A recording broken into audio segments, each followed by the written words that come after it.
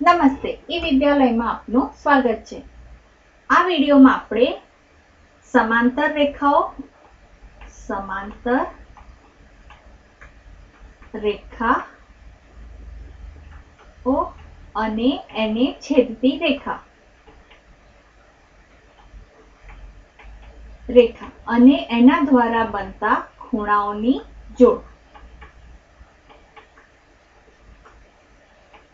વિશે શીખીશું. હમણાં સુધી આપણે કેટલાક ખૂણાઓની જોડ જોઈ છે, પણ એમાં સમાંતર રેખાઓ નહોતી, ખરું?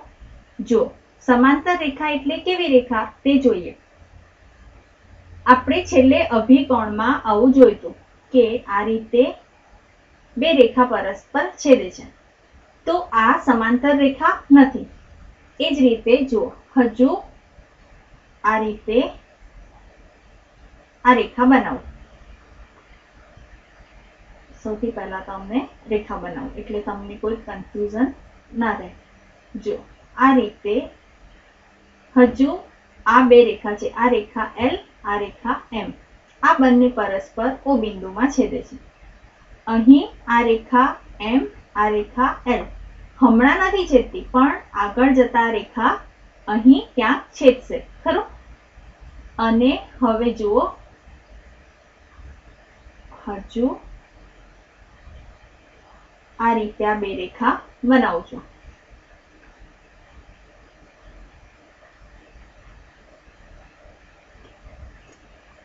તો આ બે રેખાઓ, આ રેખા એમ અને આ રેખા એલ.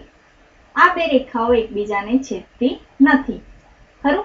તો ગમે એટલી હજુ લાંબી જશે, બંને રેખાઓ ગમે એટલી વિસ્તરે, પણ એ બંને રેખાઓ ક્યારે એકબીજાને છેદશે નહીં. તો એવી રેખાઓને કહે છે સમાંતર રેખાઓ. એકબીજાને સમાંતર છે. જો અહીં માપ સરખું જ રહેશે હંમેશા. અહીંયા માપ માપો કે અહીંયા માપો કે અહીંયા માપો. હંમેશા એ એક સરખું જ માપ રહેશે. ખરું? આ રીતે ટેબલ દોરેલું હોય તો એ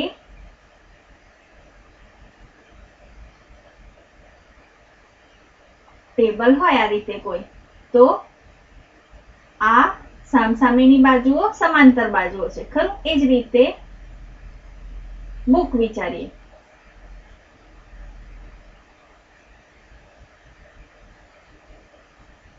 આ ચોપડી છે. તો ચોપડીમાં પણ આ રીતે સામસામેની બાજુઓ, સમાંતર બાજુઓ છે. સમાંતર રેખાઓ છે. ખરું?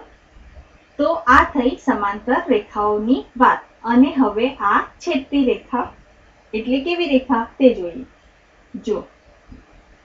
અહીં આ રેખા એમ અને રેખા એલ એકબીજાને છેદે છે. અહીં હજુ આગળ જતા છેદશે. પણ અહીં સમાંતર રેખામાં જો હું આ રીતે આ એક રેખા આવી બનાવું.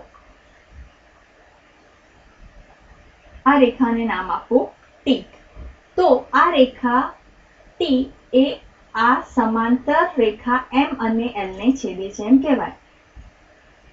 અને એક બીજી વાત કે સમાંતર રેખાઓને કેવી રીતે લખાય? જો એલ અને આ સમાંતરની નિશાની અને એમ આ રીતે લખાય. એલ અને એમ સમાંતર રેખા છે.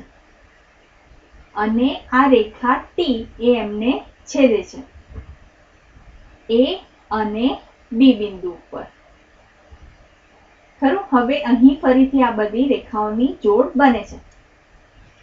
તો આજે, આ જે અહીં ખૂણાઓની જોડ બની, એના વિશે પણ શીખવાનું છે. એ પહેલા માહિતી રૂપે આ બધાના અંગ્રેજી શબ્દો જોઈ લઈએ.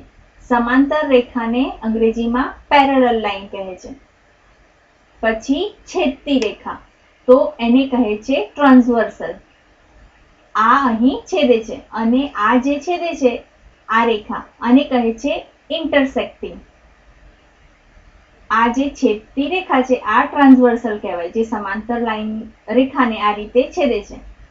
અને એ ઇન્ટરસેક્ટ કરે છે, બિંદુ એમાં ઇન્ટરસેક્ટ એટલે કે બિંદુ એમાં રેખા એમને બિંદુ એમાં રેખા એમને છેદે છે, રેખા ટી ખરું? એ રીતે એ બધા અંગ્રેજી શબ્દો છે. હવે આપણે અહીં જે ખૂણાઓની જોડ બને છે, એના વિશે સમજીએ. જો, ફરીથી હું એ રીતે આ સમાંતર રેખા દોરું છું.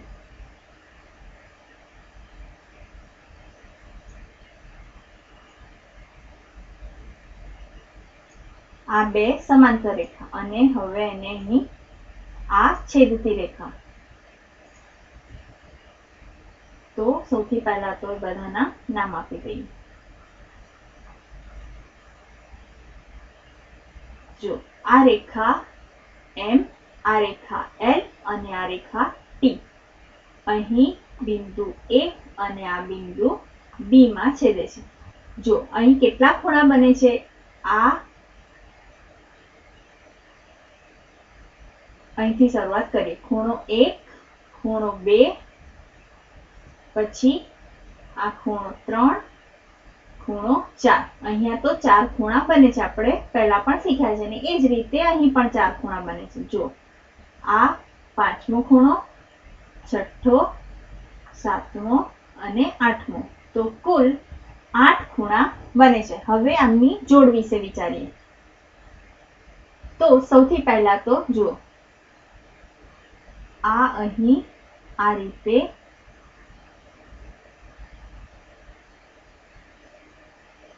આવો એક આકાર નવો આપણને દેખાય છે, ખરો? આ આકાર અને એ જ રીતે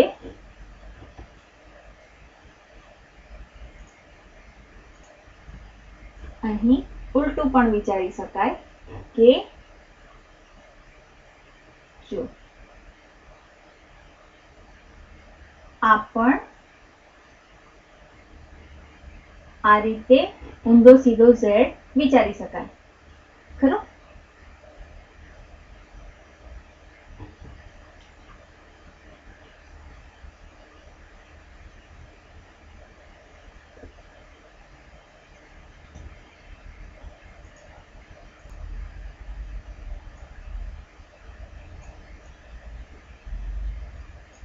આ રીતે આ એક ઉલટો ઝેડ અને આ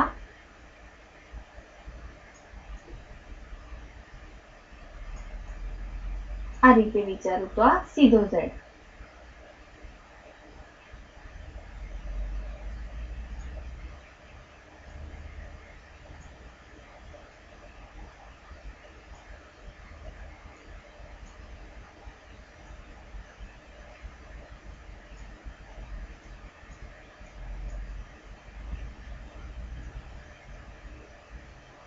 તો જો અહીં આ ખૂણો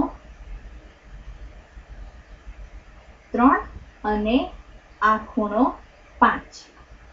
અને એ જ રીતે આ ખૂણો ચાર અને આ ખૂણો છ. ખરું? આમને યુગ્મ કોણ કહે છે? યુગ્મ કોણ? કોને? ખૂણો ત્રણ અને ખૂણો પાંચ. તથા ખૂણો ચાર અને ખૂણો છ. આ બંનેને યુગ્મ કોણ અને એમના માપ પણ સરખા હોય છે. એ જ રીતે હવે બીજું વિચારીએ. જો અહીંયા આ રીતે ખૂણો બે જુઓ. અને અહીં નીચે આ ખૂણો છ જુઓ. આ બંને પણ સરખા માપના છે. એ રીતે કોઈ પણ રીતે વિચારી જુઓ. જો, આ ખૂણો એક અને પાંચ. ખૂણો એક અને ખૂણો પાંચ. સરખા છે, ખરું? આ એક અને પાંચ. આ બે અને છ. એ રીતે હજુ બીજી કઈ જોડ બને છે? ત્રણ અને સાત. ત્રણ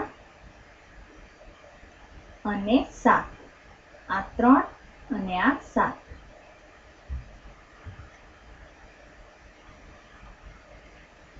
ને એ જ રીતે આ ચાર અને આઠ.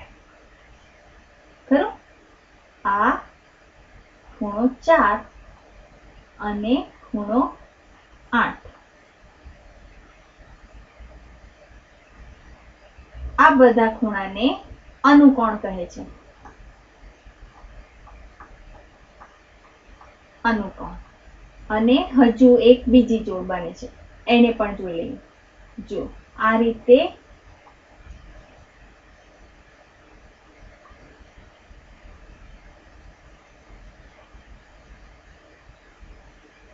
આ ખૂણો ત્રણ અને ખૂણો છ. અને એ જ રીતે આ. આ ખૂણો ચાર અને ખૂણો પાંચ. એમનો સરવાળો હંમેશા એકસો એસી થશે. આ બંનેનો સરવાળો હંમેશા એકસો એસી થાય. આ સમાંતર રેખા હોવી જરૂરી છે. અને આવા ખૂણાને કહે છે અંતઃકોણ. ખ્યાલ આવ્યો? તો આ સમાંતર રેખાઓને છેદતી રેખા દ્વારા બનતા ખૂણા છે. સમાંતર રેખા ના પણ હોય અને તો પણ આ રીતે આઠ ખૂણા તો બનશે. જો, આ રીતે હું દોરું અને એને છેદતી આ રેખા. કે તમે બીજી રીતે પણ દોરી શકો. તો પણ અહીં આ આઠ ખૂણા તો બને જ છે. અને એમની જોડને પણ આ જ રીતે લખાય. અનુકોણ આ યુગ્મકોણ અને અંતકોણ. પણ આ બધા હંમેશા એમાં સરખા થશે કે નહીં થાય? વિચારી જો અહીંયા એ રીતે સરખા ના પણ થાય. કેમ? કારણ કે આ રેખાઓ આ રીતે અલગ અલગ ખૂણા બનાવશે, ખરું? પણ સમાંતર હશે તો આ બધી જોડના માપ સરખા હશે. એટલે કે યુગ્મકોણના આ ત્રણ અને પાંચનું માપ સરખું. એ રીતે ચાર અને છ નું માપ સરખું એ રીતે અનુકોણમાં અને અંતઃકોણ એટલે કે છેદિકાની એક બાજુએ આવેલા ખૂણાનું માપ. એમનું માપ, એમના માપનો સરવાળો એકસો એસી અંશ થશે. અને આમના અંગ્રેજી નામ પણ જોઈ લઈએ. યુગ્મ કોણ એટલે આ યુગ્મ છે એકબીજાના. તો એને કહે છે ઓલ્ટરનેટ એંગલ ખરું? એકબીજાના ઓલ્ટરનેટ એટલે યુગ્મ. અને અનુકોણ એટલે કે અનુકોણ એટલે એકબીજાના કરસ્પોન્ડિંગ એંગલ ખરું? તો આના ઉપરથી હજુ એક ગેમ જોઈએ.